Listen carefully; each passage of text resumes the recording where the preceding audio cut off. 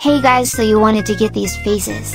They are toy codes but there is a way to get these without needing toy codes. I will show you guys a way. You will wanna go to the shop and you will wanna search this up. This looks really similar to the eyes but Therese just no mouth to this one. But it still looks pretty cute.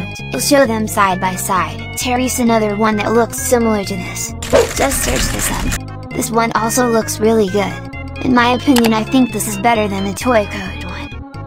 For the next one you will want to search this up. This one actually looks pretty cute as well. It looks really similar to the original.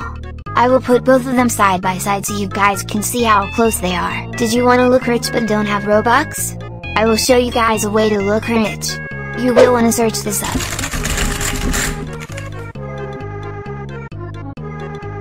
And there it is. And also there are other colors for this. It looks just like a Valkyrie from Walmart.